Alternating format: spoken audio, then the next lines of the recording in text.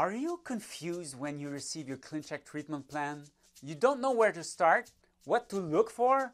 Should I make some changes? Should I leave it like that? My name is Stefan Reinhardt, Director of Education for the Clear Institute, and in this week's Clear Tip, I give you the five, one, two, three, four, five basic steps to analyze your initial ClinCheck. And stay till the end because I give you a very special bonus tip that will certainly help you. Let's start the timer.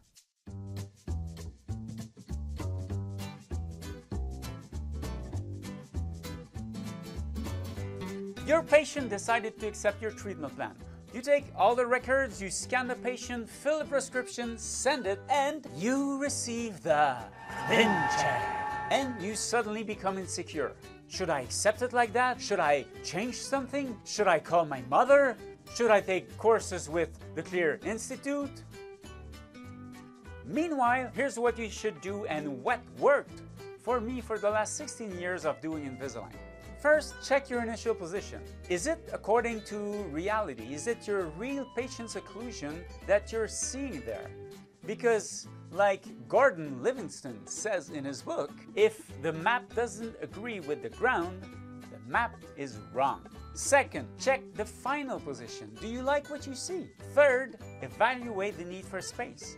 How will you do it? If you're doing IPR, where will you do it, when, and how much? Step number four, look at the attachments and other characteristics. Power ridges, bite ramps, precision cuts, pressure points, pontics. Do you need them for what you're doing?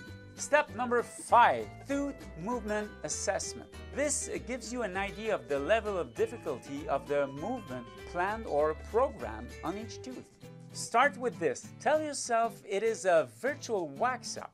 Imagine the teeth are all in soft wax and, and you would just move them using your fingers. Where would you put the force? And now the final bonus step. When reviewing your ClinChecks, always sit back, relax, and take some alcohol. Because ClinChecks always make more sense with alcohol. Ha! No, no, just a joke. Don't start this. But relax. That one's through. And have fun. Always. Like I have doing these clear tips. And by the way, for this week, time's up!